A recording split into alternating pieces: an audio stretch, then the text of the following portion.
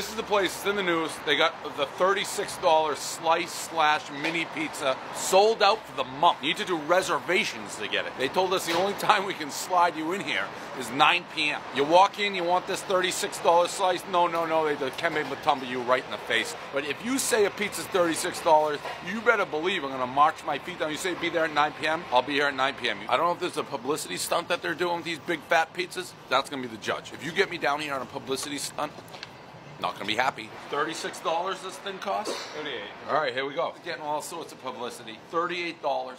I don't know what I'm gonna expect here. If we're being honest, and everyone's here watching, so again, heavy ass pressure. This is not. You can't. This isn't normal pizza. I think this is publicity pizza. This is. This is. Have a hard time doing it. It's like a 3.8. It's just not my type of pizza. I think I gotta get out of here before like before I get kicked out.